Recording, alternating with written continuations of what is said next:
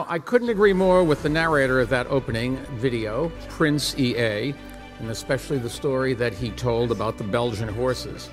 We can accomplish, accomplish so much more working together than apart. Your show was much more telling than any speech because I think you express this, I mean, your precisely this emergency, this deep feeling we have with a lot of strength. What we need, what is waited from us, is action. Small and big action. They say we live in a world of fake news. I disagree. We actually live in a world of fake olds. Think about it. We see the same old story over and over in the media. You know the stories. They tell us the world is becoming worse off every day. They say that new conflicts are rising in each and every way, but if we were to step back and examine the facts, we will come to one conclusion that our world in which we live in is actually improving. Despite all the very real problems that confront us today, I still see grounds for optimism. Everyone benefits from digital services and prosperity is nothing less than the seedbed for peace. Thanks to trade and globalization, we have made huge progress in areas like poverty, infant mortality, hunger, crime, education, and disease reduction.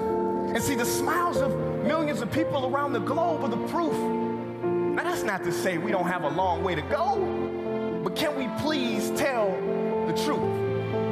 It is said that in a time of universal deceit, telling the truth is a revolutionary act. Well, ladies and gentlemen, I am standing here in front of you to do just that. And I do not mean to offend anyone in the room, but the strongest nation in the world is not the USA. It's not Russia, it's not found anywhere in Asia. The strongest nation has always been and will always be. Imagine nation. See, if we can imagine a better world together, based not on our differences, but on the things that connect us and make us whole, then we can create a future that is much greater than any vision we could ever have alone. I emphasize the word together because, as the African proverb states, if you want to go fast, go alone. But if you want to go far, you go together.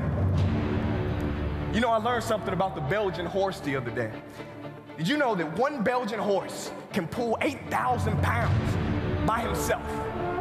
But get this, two of them can pull 18,000 pounds. And if you, if you send them to training, I mean, really focus them on this singular endeavor, then they can pull 25,000 pounds together. Together, we can pull so much more. You know, as a, as a student of history, I study the decisive moments of mankind, the pivot points, there have been many pivotal points throughout history where we found ourselves at a crossroads, given the choice of going one way or another. Ladies and gentlemen, this world is at a pivot point, and we as individuals can continue business as usual, or together we can develop a rather unusual business.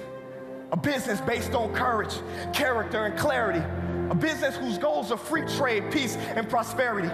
A business that does not focus on isolationism, but answers the global call.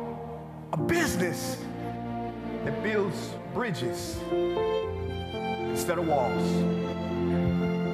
See, the truth is, there is no first or third world, there's one world. In the universe, uni meaning one verse, meaning song, we all have a part to play in this song. Some of us will pick to play first chair. Those who can lift the world up in ways that no one else can. That's you. See, we have many instruments in this ensemble, from violins to cellos to flutes to French horns. And when they solo, they all sound very clever.